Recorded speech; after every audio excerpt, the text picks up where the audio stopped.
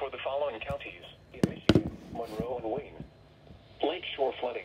Southeast winds will strengthen during the course of the evening. Frequent wind gusts of 25 to 35 miles per hour over western Lake Erie combined with the high lake levels will cause water levels to rise. The persistence of the southeast winds suggests water levels will likely reach or exceed 70 inches above low water datum. With the expected wind directions, the higher water levels are expected to be from Luna Pier to Gibraltar. The winds will switch to the southwest Sunday morning, allowing water levels to drop. Impacts. The combination of rising water levels and wave action will cause flooding along the shoreline. Prolonged rain this evening may hinder flood mitigation efforts. A lakeshore flood warning means that flooding is occurring or imminent along the lake. Residents on or near the shore in the warned area should be alert for rising water and take appropriate action to protect life and property. Prepare, plan, and stay informed.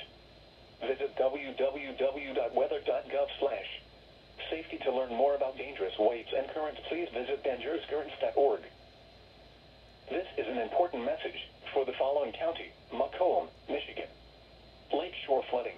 Southeast winds will increase during the course of the evening. Wind gusts of 20 to 30 miles per hour are possible across Lake St. Clair. The persistence of these winds and the high lake are expected to cause the water to rise to 61 inches above low water datum or higher. Based on the wind direction, the higher water levels are expected along the shoreline in St. Clair Shores and Harrison Township. The wind direction will switch to the southwest Sunday morning, pushing the higher water levels to the other side of the lake. Impacts. The combination of rising water levels and wave action will cause flooding along the shoreline of the lake. Moderate to perhaps briefly heavy rain this evening may hinder flood mitigation efforts. A lakeshore flood warning means that flooding is occurring or imminent along the lake. Residents on or near the shore in the warned area should be alert for rising water and take appropriate action to protect life and property. Prepare, plan, and stay informed. Visit www.weather.gov slash safety to learn more about dangerous waves and currents. Please visit dangerouscurrents.org. This is an important message for the following counties in Michigan, Huron, Sanilac, and St. Clair. Lakeshore flooding. Southeast winds will increase through the evening.